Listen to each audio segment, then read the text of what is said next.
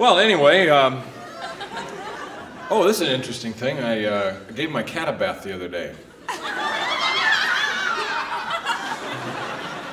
You know, I'd always heard you weren't supposed to give cats baths, but my cat came home and he was really dirty, and I decided to give him a bath, and it was great. If you have a cat, don't worry about it. They love it. He sat there, he enjoyed it.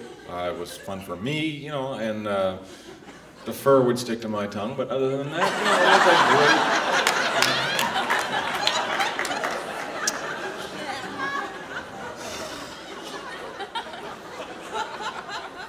Could I have some more uh, club soda, please?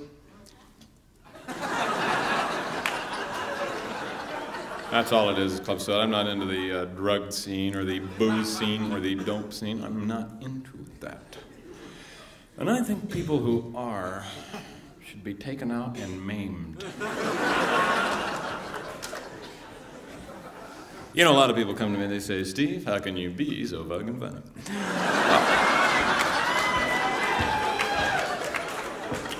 There's a secret to it. There's no big deal. I'll be honest with you. Uh, before I come out, I put a slice of bologna in each one of my shoes.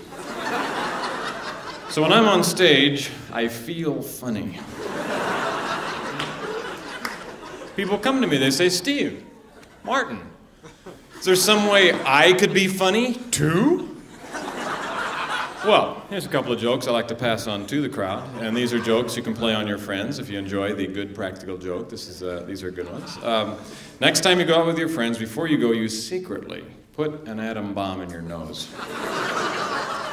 and when you get there, you pretend like you're going to sneeze. You know, you give it the old uh, uh, you set off the bomb. It's funny.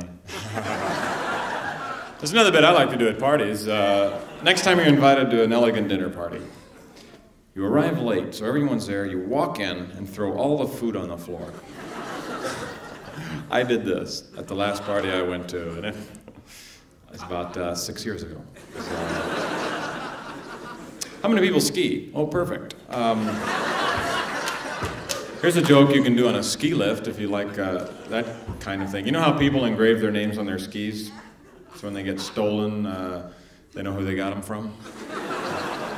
And call you up and thank you. Ted Robinson, thank you very much.